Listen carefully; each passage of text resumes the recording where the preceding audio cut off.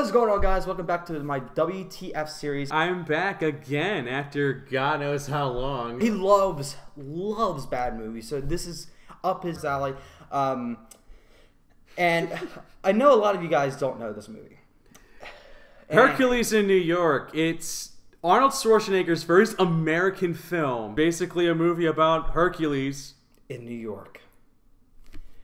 How do I word this movie and not come off on, on, on another rant? Because I don't want. Because when I go on my rants, I go on my rants. You, Oh, you've seen it. Oh, I've seen it. I've, yeah, I've seen You- it. you the see- Cat in the Hat, like where you're you're breaking down in insanity, like he did last time he saw this film.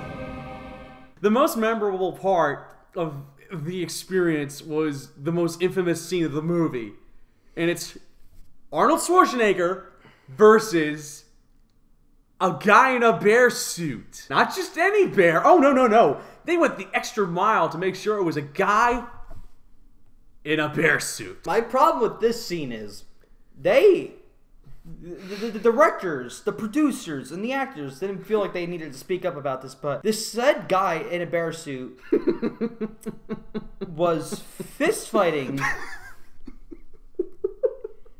And tell me, when does a Paul do that? And one does another bear? What does? When have you ever seen a bear? When have you seen a freaking bear go like this? I'm gonna attack you. Ah. Like the, the the choreography in this movie is sloppy. I feel so sorry for the guy in the bear suit. It looked like he gets fucking clotheslined by Arnold. You just see the bear guy just like wobble over and he falls over. It is the greatest cinematic fight I have ever seen.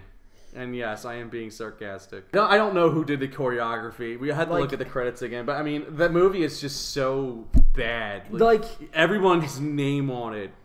I'm pretty sure they were all ashamed of working on that film. I mean, You know. thankfully Arnold Schwarzenegger wasn't Arnold Schwarzenegger at the time. He was Oh, what- they called him Arnold Strong. Yeah, and that's and, and I know why they did this. The reason they changed that name was because Schwarzenegger would have been so hard to pronounce. Before Conan the Barbarian, before T eight hundred, there was Hercules, and before Danny DeVito, and a white and blue Pegasus, there was Pretzi, the pretzel guy. Nothing would have made that movie without him. I, honestly, every time you were mentioning Pretzi, I was like, "Are you just giving him a nickname?" this is real. name. Pretzi, the pretzel guy. And let me talk. No, let me talk to the, the, the viewers for a minute about Pretzi. Director, why in God's green earth are you so interested in his reactions to everything? I swear to God, every 15 fucking seconds, I see him go. Eh? Huh? He just like he just like he fell. He he fell up. Oh my god, the language couldn't have been.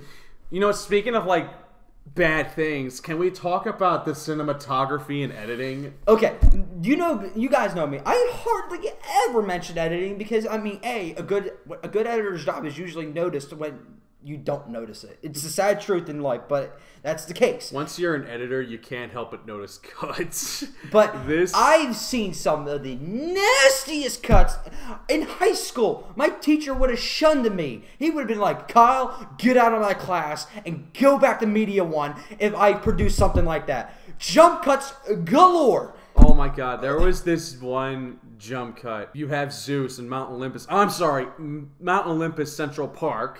It's so stupid. And there is this part where they're trying to see what Hercules is doing, and they're re- removing the blanket over this foggy looking fake ass crystal ball. And then all of a sudden, as they're removing it, it cuts to once they're like, they're all settled. Like, like it's just so jarring. Like even he noticed. It was like it was so off putting. I I lost my shit at that point. I only cracked a smile a couple times in this movie because of how bad it is. But the entire time, I was just like, wow. Wow. I'm pretty sure prison sex would be better than this. Prison sex. Oh my god. Like, oh, I mean, it's, it's much more smooth, convincing, and more passionate. the the cinematography. I'm also big into that stuff. And one of the worst things, if the cutting isn't so jarring, it's also the shitty camera movements. Most shots that involve movement, you have this thing where the camera is just shaking so violently. And that's especially true when you go to scenes with the boats or like the carriage. So tell me, when you're looking at, over at New York City, you want to see a nice, smooth pan shot. No, this guy was like holding a. He's like, hold my beer, I got this. These are level one media mistakes. Level one.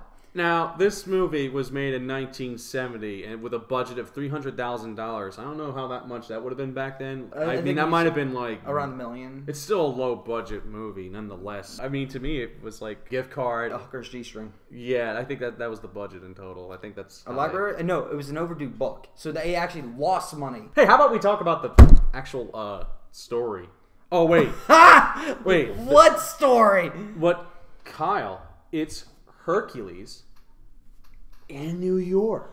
Uh, Can you repeat that? That, that seems very, very meaty of a story. Explain that to me again. Hercules Okay, I got the Hercules part.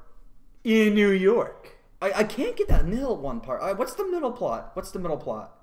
In Now I get it. Now I get it. It makes so much sense. Basically, the whole movie is that Hercules is bored of his life in Mount Olympus. How original. Zeus gets pissed off at him and he throws a concrete rod at him. I'm sorry, it's meant to be a lightning bolt. And then Hercules is sent down to Earth. But first, he has to pass through an airplane where this woman is like having an orgasm.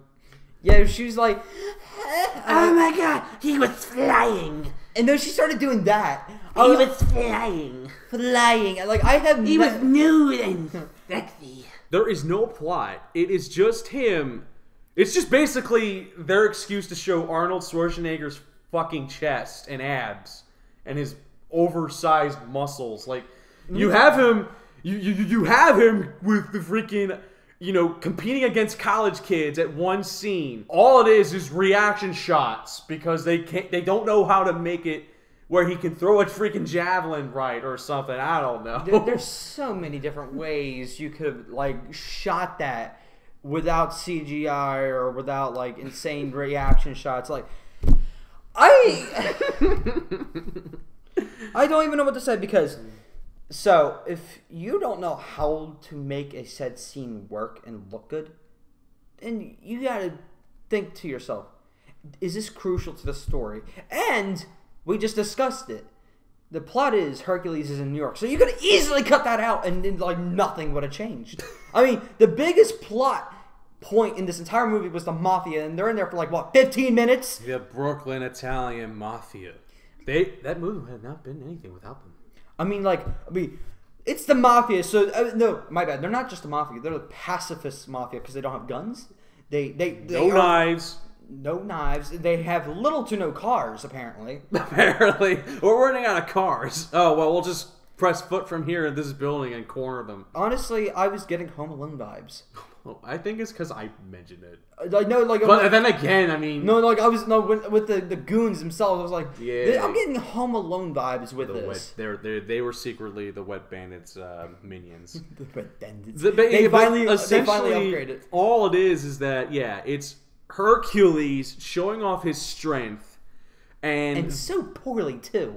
here goes, here goes. Okay, so explain to me. Everyone knows when I say explain to me, that's my trigger word. So explain to me. This girl, first time she meets Hercules, she sees him apparently by picking him up, breaking two of his effing ribs. then you know what the next scene we see to them together? They're in they're in the chariot loving each other. I'm like, you were just saying how you hated him 15 seconds ago because he broke your friend's ribs. And his friend, the friend who has the two broken ribs, is sitting down like that. How do you have two broken ribs? Last time I checked, you'll be in the hospital for like at least a couple weeks, sitting in a bed, crying about life. That scene takes place before the bear fight. So stupid. At least they actually recorded actual zoo animals before they showed Yeah, off their I was like impressed with realistic- CGI. that realistic bear suit thing or lack of realism. One, there was one thing I loved about the bear fight scene. It was actually not in that scene alone. It was actually in a flashback where Hercules or Arnold literally picks up the guy in a bear suit and then gravity slams him into the ground. I was like, God damn! Like, is that necessary? Only you can prevent forest fires unless you are Hercules. I'm Hercules. Oh, my favorite line with him. I'm Hercules. You have struck Hercules. Like, thank you for reminding that you're Hercules, buddy. Thank you. He's a foreigner. He doesn't understand. It's a shame that it doesn't have the same amount of recognition as like The Room, but I can understand why because The Room is more popular And and recent. and because uh, where the room actually has more than one song. Yeah, Hercule- Hercules in New York. I'm kidding. I'm kidding you not. Oh it's my God. One song on loop. score. Only time we get a different piece of score is when Hades shows up to New York and all the lights go out in the fake-looking New York City. I think that's the only time we get an actual different score, as far as I can remember. Oh, and tell me why is uh, the um, Empire State Building as thin as my pinky? Tell me how that works. Yeah, it's like we hit an alternate dimension. It's like it was literally reminding me when I saw it. I was like, "Wow, this reminds me of Tim Burton's uh, Batman." Funny Gotham enough, City. funny enough, like uh, it is also produced by I think this animation company. I don't remember what it was called. At one point, it's like it's the only time they use animation, and they never bother using animation for anything else. Like they could have done it with Zeus's lightning bolts, where they opt for fucking concrete rods that are bent to look like lightning bolts, very poorly, mind you.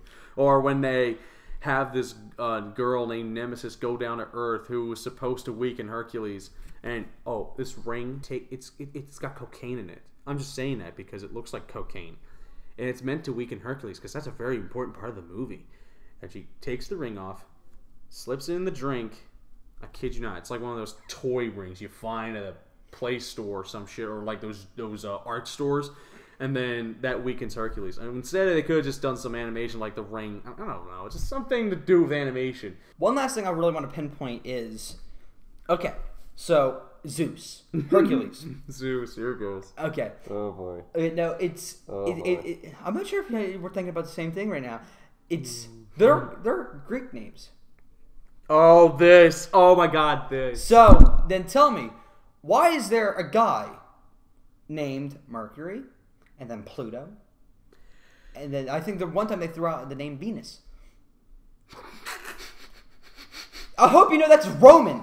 You can't have Greek mythology mixed with Roman mythology. They're Yeah. the same character but with different names. But like, if you're gonna go with something, at least pick one or the other. Don't go with like Hercules and Zeus and then throw out a bunch of fucking Roman names.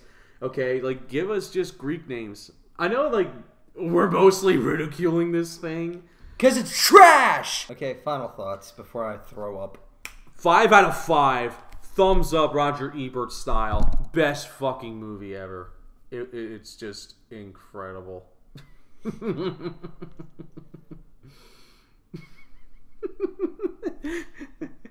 he doesn't know what to say. Oh, I know what to say. okay, let's say this. I'll, I'll, I'm going to say this up front. And you can quote me if you will. I would prefer prison sex. I'm talking about hardcore prison sex. I'm talking about I'm talking about the thickest mofos in that prison. I'll take that. Oh my God. In the butt Oh my before I watch this movie again. Hercules in prison. So that would be a straight up porno, I'm afraid. I'm Hercules. Okay, I'm gonna honestly, if I'm gonna rate this, I'm gonna give it like one out of five stars. Honestly, you don't scare me. I'm Hercules. Wow, wow. Okay, I can't wait for next week because you know I, I just love wasting my time with bad movies. Because who does? I mean, it make, in a way, it makes you appreciate the good movies even more. I have a Twitter, Instagram, gumps underscore videos. Go follow me there for the latest news and updates on my channel. Thank you guys for watching. Please subscribe, all that crap. And I'll see you guys whenever. Oh, but never, because you're never coming back. You're trash. Oh. Oh, oh, oh, okay then. Um, Yeah, go. No, it was nice knowing you. Uh, I, I mean, yeah, it's just. Don't let the door hit you out. I'm Hercules.